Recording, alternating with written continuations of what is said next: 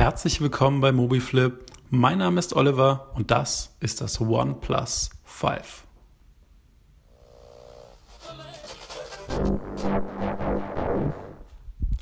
Das OnePlus 5 oder auch OnePlus 5 wurde vor ein paar Tagen vorgestellt und ist mittlerweile auch über den Online-Shop in Deutschland erhältlich. Es wird in einer Version für 500 Euro in Grau und in einer Version in Schwarz für 560 Euro angeboten. Auf die Unterschiede gehe ich nachher nochmal genauer ein. Uns hat man ein schwarzes Modell ähm, für den Test zur Verfügung gestellt. Ja, die Verpackung des Gerätes ist schlicht und ähm, auf der Seite sieht man auch schon, worauf der Fokus im wahrsten Sinne des Wortes liegt, nämlich der Dualkamera. Doch darauf werden wir auch im Laufe des Testberichts dann noch näher eingehen. Hier soll es erstmal um ein Unboxing vom, vom Gerät gehen und ich möchte euch mal kurz zeigen, was so in der Verpackung ähm, unter anderem zu finden ist. Natürlich das Gerät selbst, doch man findet auch, wenn man die erste Ebene abhebt, ähm, ein Foto. Das wurde mit einem OnePlus gemacht und hinten drauf gibt es noch eine kleine Botschaft vom CEO persönlich.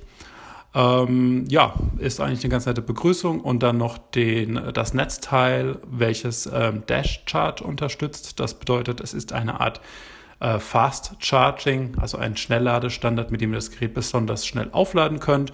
Und dann gibt es noch das passende USB-A auf USB-Typ C-Kabel, denn das OnePlus 5 selbst besitzt einen USB-C-Anschluss. Ähm, allerdings USB 2.0 und ja, da könnt ihr das Kabel dann quasi reinstecken. Außerdem gibt es noch die üblichen Flyer etc., die man dann in der ersten Ebene findet und so einen kleinen Nupsi, mit dem man dann den äh, Slot für die SIM-Karte öffnen kann.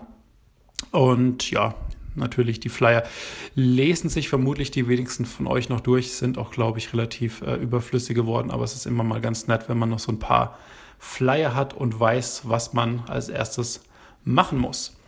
Das OnePlus 5 selbst besitzt einen Snapdragon 835 und ist somit auch eines der ersten Modelle mit dem Prozessor. Man kann es wahlweise mit 6 oder 8 GB Arbeitsspeicher und mit 6 oder 128 GB Speicher kaufen. Und ähm, ja, ich habe ja schon anfangs erwähnt, das sind dann die beiden Modelle, das macht den Preisunterschied aus. Auf der Frontseite findet man ein 5,5 Zoll großes AMOLED-Display, welches mit Gorilla Glass 5 geschützt wird.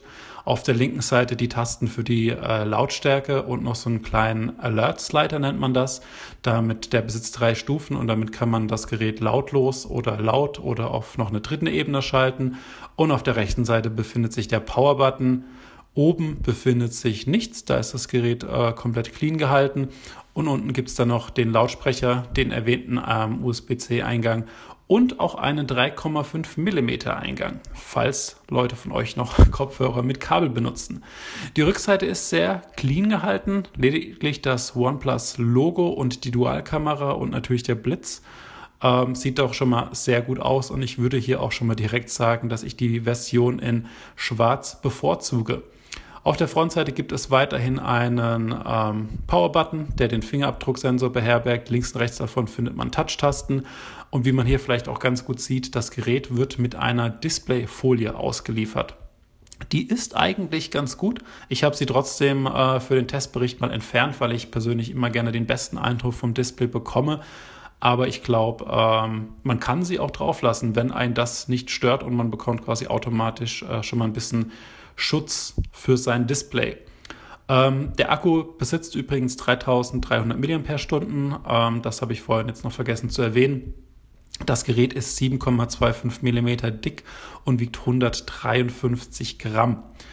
Ähm, ihr seht hier gerade den Einrichtungsprozess und da möchte ich noch ganz kurz erwähnen, dass auf der Rückseite, das ist eine Dualkamera, die ihr vorhin gesehen habt, einmal mit einer 16 Megapixel Weitwinkellinse und einmal mit einer 20 Megapixel Telefotolinse.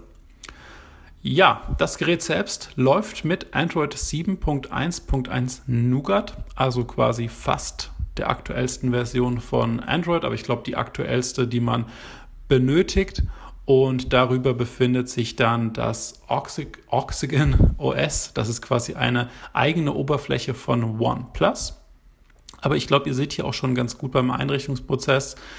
Ähm, ich richte hier mal noch eben den Fingerabdrucksensor auf der Frontseite ein, ähm, dass das eigentlich eine relativ ähm, äh, cleane Oberfläche ist und sehr stark an das normale Android erinnert und nicht besonders stark angepasst wurde.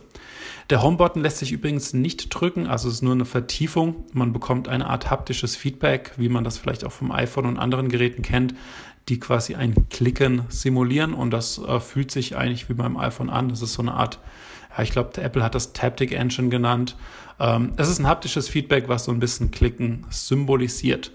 Und wie gesagt, links und rechts davon sind die Touch-Tasten, die man jetzt hier gar nicht erkennt. Die werden mit so einem kleinen leuchtenden Button signalisiert. Ähm, links ist zurück, rechts ist Multitasking, aber man kann auch das, äh, die Belegung tauschen, wenn man das möchte. Ja, ich habe ja mal die Displayhelligkeit auf ganz hoch gemacht, denn das Display ist durchaus beeindruckend. Ähm, das macht Spaß und zeige euch mal noch ganz kurz, dass hier auch wirklich Android Nougat installiert ist. Allerdings muss man auch dazu sagen, dass es sich um ein 5,5 Zoll großes Full HD Display handelt, also keine QHD Auflösung wie bei den meisten anderen Herstellern mittlerweile auf dem Markt. In den ersten Minuten musste ich sagen, das macht gar keinen großen Unterschied. Und ich glaube, wenn man jetzt nicht unbedingt Virtual Reality und sowas nutzt, dann ist das auch wirklich egal, ob das jetzt QHD oder Full HD ist solange die Displayqualität ähm, stimmt. Und ich würde sagen, die stimmt hier durchaus. Allerdings muss man auch dazu sagen, OnePlus ist ein Hersteller, der noch nicht eines von diesen ähm, Geräten besitzt, welche fast keinen Rand haben. Also, wie ihr seht hier schon ganz gut, ähm, wenn man das nutzt, das Schwarz vom AMOLED-Display geht zwar so ein bisschen in das Schwarz vom Rand über, aber man erkennt dann doch schon den relativ breiten Rand oben und unten und ja, OnePlus hat sich dazu auch schon geäußert und hat eben gesagt, man besitzt nicht die Kapazität eines von, von Samsung oder von LG und kann hier auf ähm, eigene Werke zurückgreifen. Man muss quasi nehmen, was der Markt bietet. Und ähm, da war es für OnePlus nur möglich, das gleiche Display des OnePlus 3T zu nehmen. Und ähm, ja, daher haben wir hier wieder ein, ein 5,5 Zoll großes Full HD Display, welches allerdings immer noch ein sehr guter Stand im Jahr 2017 ist. Nur wie gesagt, ich möchte hier an dieser Stelle erwähnt haben, es kann nicht ganz mit einem LG G6 oder Samsung Galaxy S8 mithalten. Aber dafür ist das OnePlus 5 auch ähm, zumindest jetzt in der UVP in eine Ecke günstiger. Im Einzelhandel mittlerweile nicht mehr ganz, da wird es sogar vom LG G6 unterboten, aber darauf äh, auf das Preis-Leistungs-Verhältnis möchte ich dann nochmal näher in unserem Testbericht eingehen. Jetzt hier im ersten Eindruck soll es mal nur um diese, die Basisdaten gehen. Also 500 Euro zahlt man. Und das ist das, was man dafür geboten bekommt. Und ich würde sagen, das ist beim OnePlus 5 äh, durchaus solide. Es ist kein Modell mehr, welches den Markt angreift und vielleicht sogar die Flaggschiff-Modelle deutlich unterbietet. Ich würde sagen, es ist mittlerweile fast auf dem Stand angekommen besitzt allerdings einen fairen Preis und keinen komplett übertriebenen UVP-Preis von 700, 800 Euro. Wobei man natürlich auch sagen muss, dass Galaxy S8 und Co. da ähm, mittlerweile auch nur noch in der UVP in den ersten zwei, drei Tagen so teuer sind und danach ähnlich teuer im Einzelhandel sind. Es fühlt sich gut an, nicht unbedingt direkt wie das iPhone 7 Plus, also auch wenn es optisch vielleicht ein bisschen so aussieht, es besitzt dann doch nochmal eine kleines bisschen andere Haptik. Natürlich viele Elemente, die man vielleicht vom iPhone kennt. Und ähm, ich habe hier auch mal, ich habe allerdings nur ein iPhone 7 zum Vergleich da und kein 7 Plus. Ähm, da sieht man dann nochmal den kleinen den, oder nicht den kleinen, den etwas deutlicheren Größenunterschied von einem 4,7 zu einem 5,5 Zoll großen Display. Aber man sieht, OnePlus kämpft hier noch mit den gleichen, mit der gleichen Eigenschaft wie Apple in den letzten Jahren jetzt gekämpft hat mit einem relativ dicken Displayrand. Es fühlt sich aber trotzdem gut an. Es besitzt ein gutes Display und eine sehr solide Ausstattung, die sich, glaube ich, im Sommer 2017 sehen lassen kann. Ich persönlich bin jetzt allerdings mal gespannt, wie sich das Gerät im Alltag schlägt. Denn der Preis ist teurer geworden und wir haben mittlerweile ähm, das Level von anderen Flaggschiffen erreicht. Und da muss dann OnePlus vor allem auch vielleicht mit der Dualkamera schon überzeugen.